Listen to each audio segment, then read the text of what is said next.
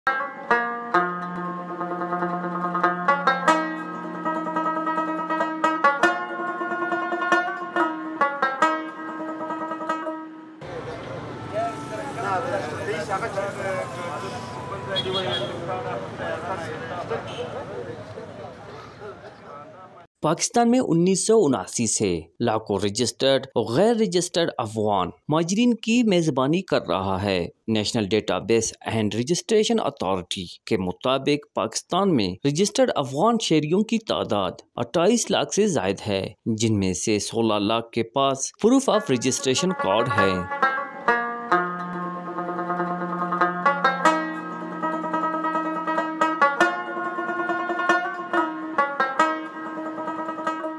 मुल्क में महाजरीन की तकरीबन तमाम तरह आबादी अफगान शहरियों पर मुश्तमिल है और पाकिस्तान हब्बी दुनिया के उन ममालिक में शामिल है, जहाँ सबसे ज़्यादा महाजरीन क्याम वज़ीर है। इनमें से ज़्यादातर महाजरीन कशीदगी और तशद से बचकर निकले, जिसने अफ़गानिस्तान को कई दाइयों से लपेट में ले रखा है और इंसानी हकूक की संगीन खिलाफ वर्जियों को जन्म दिया है।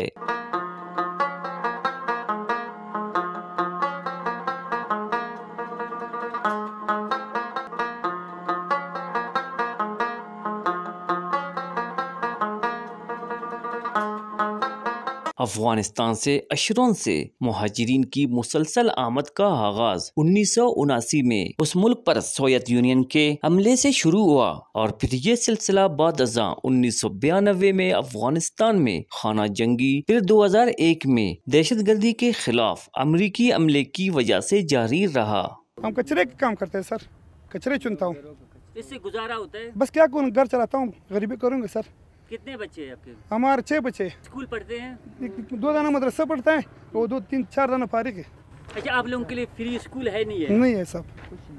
कुछ नहीं है। स्कूल भी नहीं है? कुछ न स्कूल है कुछ नहीं है। बच्चे नहीं पढ़ते हैं? बच्चे कैसे पढ़े? बच्चे पैसे हम पैसे घर कमाए इसके बच्चों को दे